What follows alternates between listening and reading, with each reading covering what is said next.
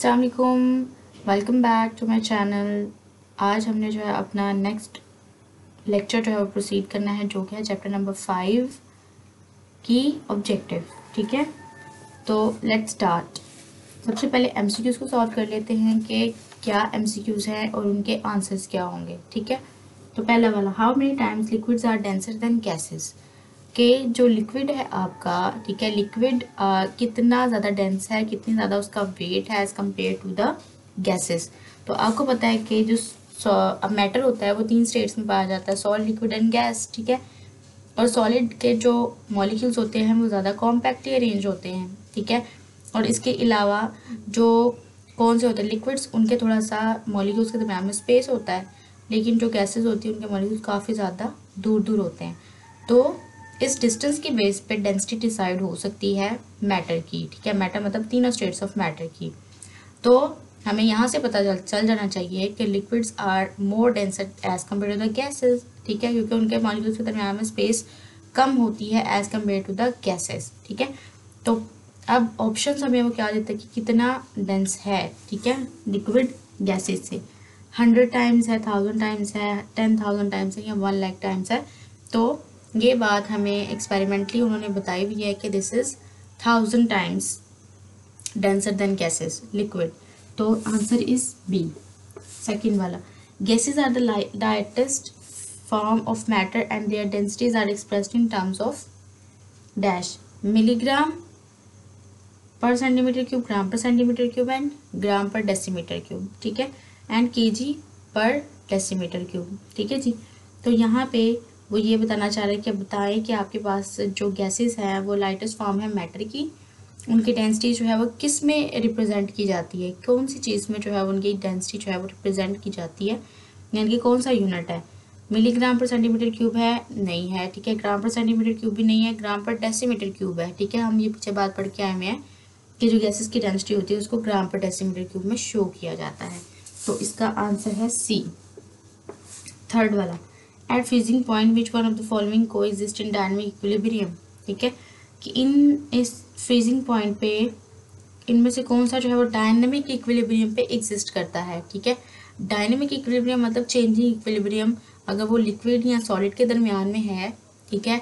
तो कितना लिक्विड जो है वो सॉलिड में कन्वर्ट हो रहा है, कितना सॉलिड तो वापस जो है लिक्विड में कन्वर्ट हो रहा है। तो दिस इज़ डायनेमिक मतलब चेंजिंग इक्विलिब्रियम हो जाता है ये, ठीक है? तो यहाँ पे वो बता रहा है कि गैस एंड सॉलिड के दरमियान में होता है, लिक्विड गैस के दरमियान में होता है, लिक्विड एंड सॉलिड के दरमियान में होता है, यहाँ पे इन सब के दरमियान में होता है। तो right option is C liquid and solid के दरमियान। में फोर्थ वाला solid particles possess which one of the following motions solid particles होते हैं जी, हमें पता है लिक्विड के मॉलिक्यूल्स के दरमियान में काफ़ी ज़्यादा स्पेस होती है मतलब as compare to the gases थोड़ी सी कम होती है, लेकिन सॉलिड से थोड़ी सी ज़्यादा होती है। ठीक है? तो ये तो मूवमेंट शो कर सकते हैं, ठीक है? और गैसेस भी जो है वो भी रैंडम मूवमेंट शो कर सकती हैं, लेकिन सॉलिड के जो पार्टिकल्स होते हैं वो काफ़ी ज़्यादा कॉम्पैक्टली अरेंज होते हैं। तो ये तो मोशन शो नहीं कर सकते। तो इसका मतलब क्या है कि ये कौन सी मोशन शो करेंगे? यहाँ पे हमें ऑप्शन देता है रोटेशनल क्या ये रोटेट कर सकते हैं इतने कॉम्पैक्ट होने के बावजूद? उसके अलावा है वाइब्रेशनल मोशन यानी कि अपनी जगह पे रह के ऊपर नीचे जो है वाइब्रेट करना, ठीक है?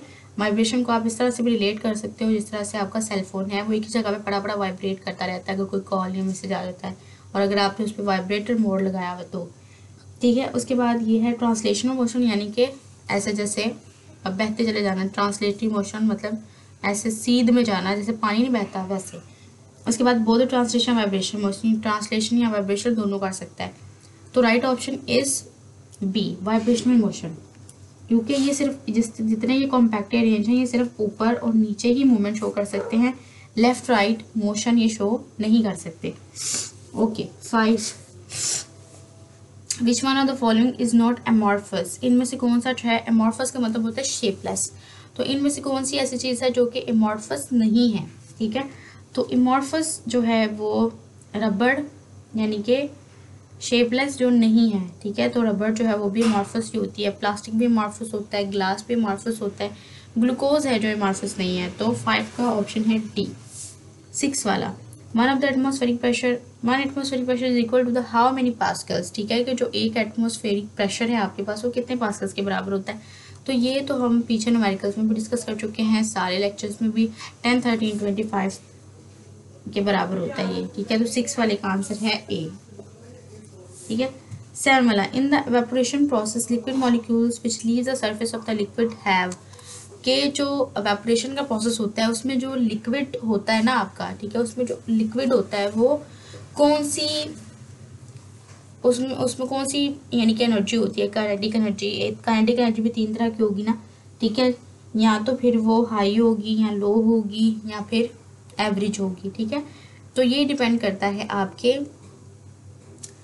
मॉलिक्यूल्स की एनर्जी पे कि जो पहले एवेपोरेट होंगे, ठीक है? सबसे पहले तो वेरी लो एनर्जी वाले, जिनकी एनर्जी पहले से लो है, ठीक है? वो क्या एवेपोरेट करेंगे? उसके बाद मॉडरेट एनर्जी वाले, ठीक है? मॉडरेट एनर्जी यानी कि जब आप लोग एवेपोरेशन का प्रोसेस स्टार्ट करोगे, जिनकी पहले से लो एनर्जी होगी, वो एवरेज पे जाएगी। और जिनकी एवरेज होगी, ठीक है? वो हाई पे जाएगी, ठीक है? और जिनकी पहले से हाई होगी, वो वेरी हाई पे चली जाएगी। तो यहीं से हमें आंसर पता चल जाता है कि वेरी हाई एनर्जी वाले जो है, वो एवेपोरेट होंगे। तो सेवन सी ठीक है? उसके बाद जी हमारे पास आ जाता है एट वाला M C Qs which one of the following gas diffuse fastest ज़ाहिर सी बात है, जिसका वेट होगा कम, ठीक है? तो वो ज़्यादा जल्दी जो है वो वेपरेट करेगी, ठीक है? और जिसका वेट कम है, वो कौन सी? हाइड्रोजन हीलियम फ्लोरीन क्लोरीन इन सब में से तो हाइड्रोजन ही लाइटेस्ट है।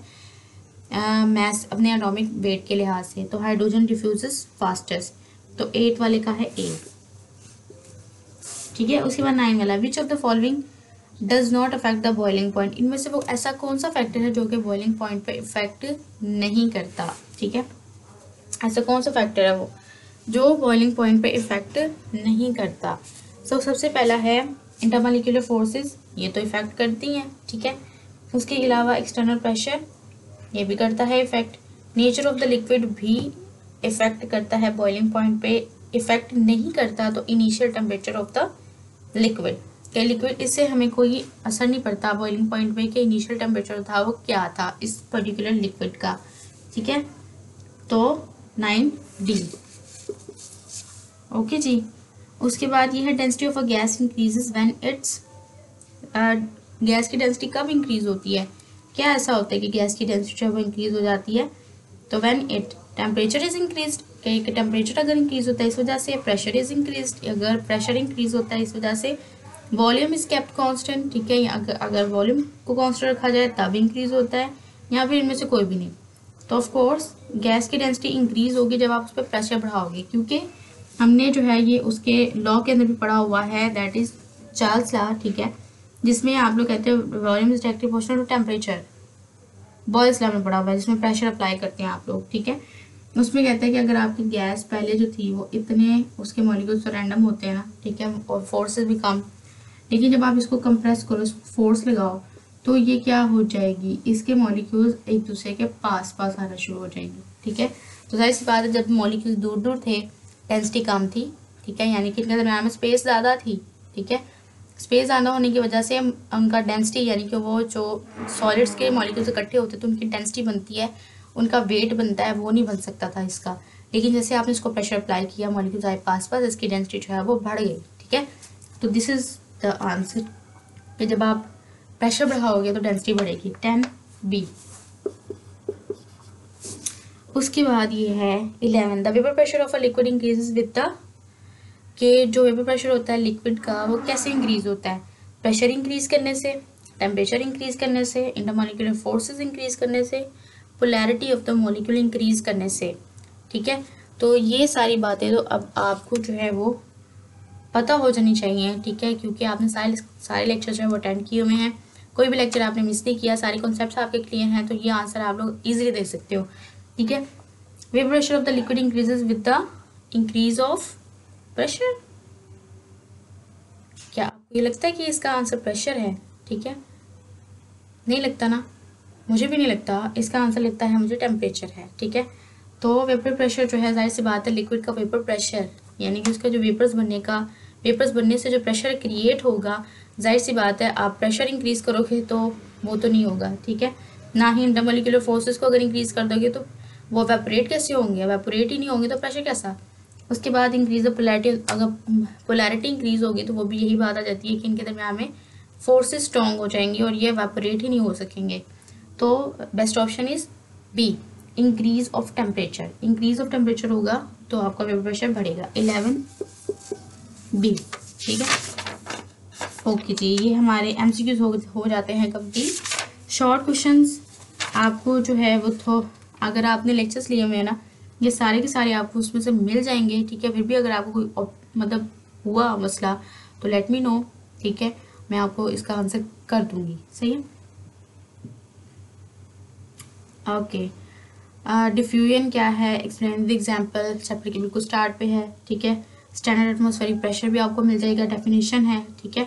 उसके बाद what are the density of the gas is lower than that of a liquid ठीक है? अच्छा एटमोस्फेरिक प्रेशर उसके बाद इसका यूनिट भी साथ में बताया हुआ है, उसके बाद इसके पास्कल में क्या इसका यूनिट है, वो भी आपको मिल जाएगा इसके साथ ही। Density of the gas is lower than that of the liquid क्योंकि उसके मॉलिक्यूल्स काफ़ी ज़्यादा दूर दूर होते हैं दूर दूर होने की वजह से क्या होता है? इनकी डेंसिटी कम होती है, इसका मतलब लिक्विड उसके बाद evaporation how it is affected by surface area surface area जितना ज़्यादा होगा, उतनी ज़्यादा वेपोरेशन होगी। जितना सरफेस एरिया कम होगा, उतनी ज़्यादा वेपोरेशन कम होगी।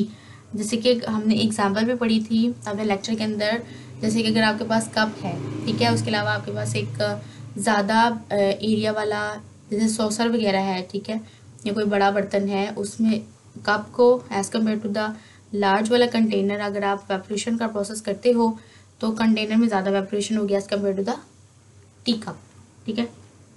ओके उसके बाद ये है जी define the term allotropy with example ये भी आपको मिल जाएगी। एलोटोपी वाले टॉपिक में लास्ट पे है। Sulphur exist at hundred degree Celsius तो रोम्बिक या मोनोक्लिनिक तो ज़ाहिर सी बात है हंड्रेड डिग्री सेल्सियस का तो temperature ninety six degree Celsius तक है। तो इससे कम ही, यानी कि रोम्बिक में ही जो है वो एग्जिस्ट करेगा। What is the relationship between the evaporation and boiling point of a liquid तो दिस इज़ इनवर्स रिलेशन ज़ाहिर सी बात है। वेपोरेशन और बॉइलिंग पॉइंट में इनवर्स रिलेशन ही आएगा मतलब ऑपोजिट रिलेशन एक बढ़ेगा तो दूसरा कम होगा। ये वाला हिसाब, ठीक है जी?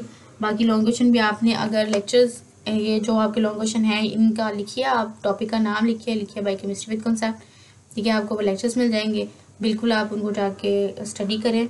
ठीक है, उनके नोट्स बना लें, आपको बहुत ईजी हो जाएगा। ठीक है जी? और न्यूमेरिकल्स को हम पहले डिस्कस कर चुके हैं लेक्चर्स के अंदर। फिर भी कोई मसला हो तो लेट मी नो मैं उसको सॉल्व करवा दूँगी। ठीक है? Thank you so much for watching और remember me in your prayers ठीक है? ओके जी।